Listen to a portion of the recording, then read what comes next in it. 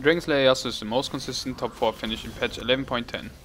While Jax and Skirmishers overall are dominating the meta currently, this comp is not only the counter of them, but it is also very uncontested, so you can hit Yasuo as your carry unit without any problems.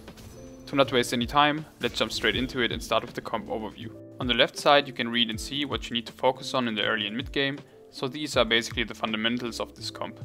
First of all, we do not want to spend gold on rerolls before we reach level 7, because ideally we want to have enough gold in the late game to 3 star Yasuo. When you have reached level 7 with around 50 gold, you should start to roll and at least hit Yasuo 2 star before you consider rushing to level 8 or else we will lack damage during the mid game. The ideal itemization for this comp will be Rapid Fire Cannon, then Runaan's Hurricane and then a Jeweled Gauntlet. As you may have noticed, RFC and Runaan's Hurricane are made of 3 bow components, so we really want to grab a bow in the very first carousel, and if we don't, then try to go for glove. The other items will go on Diana and Mordekaiser, but more on that later in the video. As for units, we want to use Vayne as our temporary item holder for Yasuo during the early game, then add Varus for ranger buff, Leona and Aatrox for sustain and redeemed buff, and Warwick and Thresh to add Forgotten and Knights. And yes, there may be no units you need for the late game here, but don't worry, I will guide you through a gameplay of mine and show you the entire transition. In the first carousel, I always try to get a bow. Then, if I do not drop a second bow during the minion rounds, I would recommend you to go on a loose streak the first 3 fights to secure the second bow in the next carousel, because Rapid Fire Cannon is our most important item for Yasu. When the first item shop appears, I always go for an item component that lets me build one of Yasu's ideal items, therefore I went and bought the glove. Since I personally always like to go on a 5 loose streak first, I ended up here being first pick in the next carousel, which made it possible for me to grab the rod, so that I could build Jeweled Gauntlet secondly. After I have lost 5 times, I pick up the Vladimir in the shop, just in case if we see an early Yasu, and that is what happened here. So I ended up selling my entire board, spending gold on XP but staying above 50 to level up fast and transitioning the Vayne items on Yasu. From here on now I try to save as much HP as possible, so that I can go for level 7 without bleeding out too much. Since I already slammed Jeweled Gauntlet, I buy the Tear which gives me the opportunity later on to use it for a Hand of Justice as third Yasuo item or a Shadow Frozen Heart for Diana. At the next carousel, I go for the third and last needed bow to slam Runaan's Hurricane later on. You should hit level 7 ideally before Wolves, and latest at stage 4.1.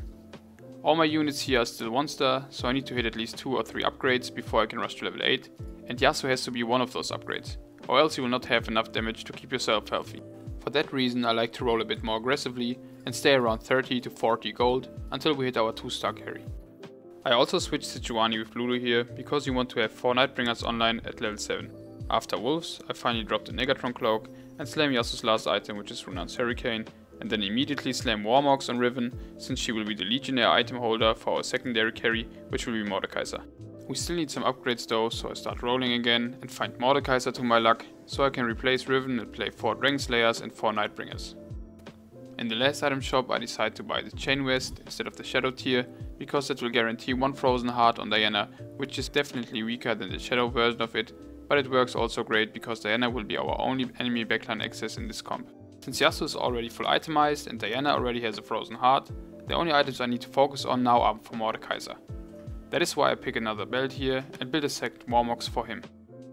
I also finally hit Yasuo 2 star at stage 4.5, which is basically very late, but since I'm on a win streak I am still healthy enough to reach level 8 and slow roll for 3 star Yasuo from there on. Obviously you must pick up every Yasuo you see on the way, and after Raptors I decide to level up completely since I already have a 2 star Lulu waiting on my bench and I don't want to lose my win streak. Reaching level 8 at stage 5.1 means we finally reach late game and this is the board we want to play. First of all, we have Lulu instead of any other mystic unit like Ryze or Kindred, since Lulu's ability will increase Yasuo's attack speed and more attack speed on Yasuo means more damage overall. So she is the best fit here. I also experienced that Yasuo's spot on the very left hex is probably the best, because he has a front line to protect him and if there are enemy assassins, they will always attack Lulu first. I also replaced Lee Sin with Darius, because Darius' ability reduces the armor of enemy units by 70%, and that will allow Yasuo to basically slice up the enemy board. All we have to take care of now is scouting and switching your unit sides. The most important unit you want to position right every fight is actually your Diana. Here I will show you some examples of how huge of an impact a correct Diana position can actually have.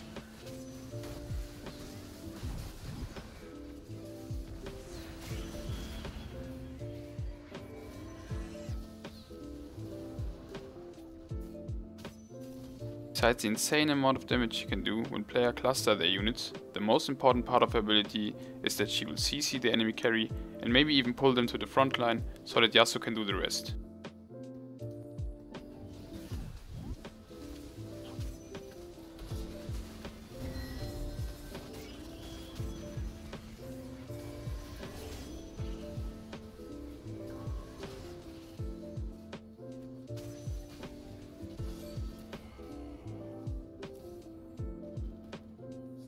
You can basically do this to every enemy backline carry with a strong frontline, like a Kayle comp, or a Brand with 3 star cavaliers, such as in this case.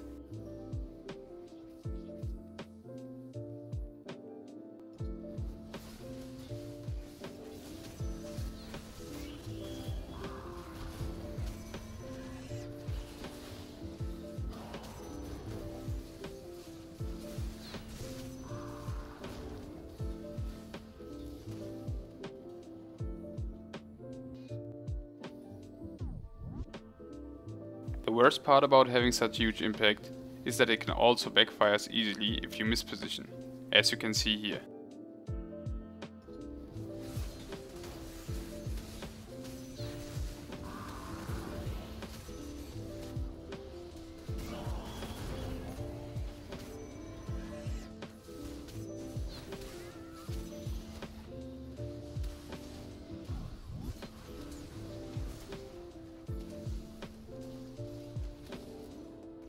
But mispositioning Yasuo can also end bad for your little legend.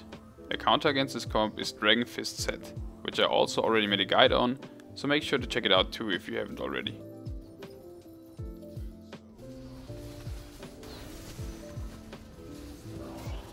In terms of numbers, out of 8 games playing this I ended up 6 times top 4 and the first place once, although I only got the second places because I mispositioned Diana. It is also worth mentioning that the time I won and the potential first places I could have got were only when I had hit Yasu 3 star.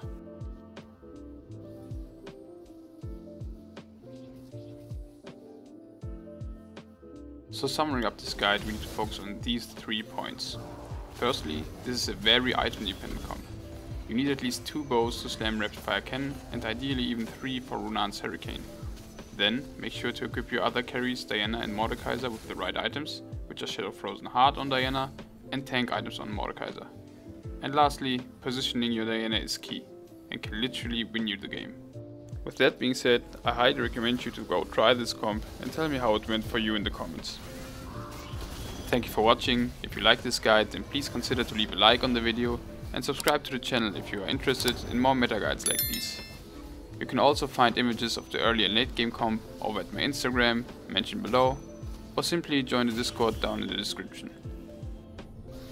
Stay safe and until next time.